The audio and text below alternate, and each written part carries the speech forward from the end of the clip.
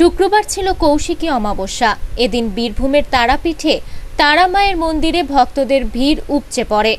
এছাড়াও বীরভূমের একান্ন পীঠের অন্যতম সতীপীঠ হল কঙ্কালীতলা।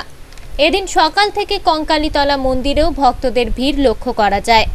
এই পীঠস্থানে আশেপাশের বহু গ্রাম ছাড়াও বাইরে থেকে প্রচুর ভক্ত কৌশিকী অমাবস্যায় কঙ্কালীতলায় পুজো দিতে আসেন। কীভাবে যেমন ভাবে প্রতিদিনই পালিত হয়, সেইভাবেই হবে।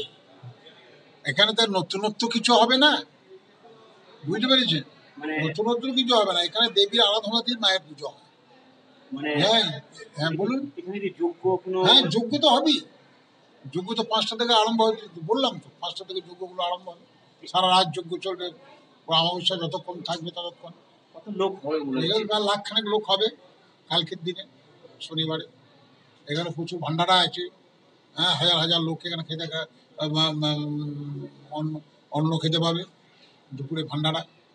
বীরভূম থেকে কাজী আমিরুল ইসলামের রিপোর্ট, আনন্দ বার্তা।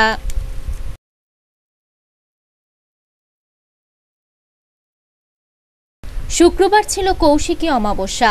এদিন বীরভূমের তারাপীঠে তারামায়ের মন্দিরে ভক্তদের ভিড় উপচে পড়ে। এছাড়াও বীরভূমের একান্ন পীঠের অন্যতম সতীপীঠ হল কঙ্কালীতলা। এদিন সকাল থেকে কঙ্কালীতলা মন্দিরেও ভক্তদের ভিড় লক্ষ্য করা যায়। এই পীঠস্থানে আশেপাশের বহু গ্রাম ছাড়াও বাইরে থেকে প্রচুর ভক্ত কৌশিকী অমাবস্যায় কঙ্কালীতলায় পুজো দিতে আসেন। কীভাবে পালিত হয়? প্রতিদিনই পালিত হয় সেইভাবেই হবে।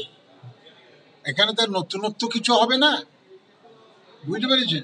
মানে নতুনত্ব কিছু হবে না। এখানে দেবীর আরাধনা দিয়ে মায়ের পুজো হয়। মানে হ্যাঁ হ্যাঁ বলুন। এখানে কি যোগ্য কোনো হ্যাঁ যোগ্য তো হবেই। যজ্ঞ তো পাঁচটা থেকে আরম্ভ হয়েছে বললাম তো পাঁচটা থেকে যজ্ঞগুলো আরম্ভ হবে সারা রাত যজ্ঞ চলবে অমাবস্যা যতক্ষণ থাকবে ততক্ষণ।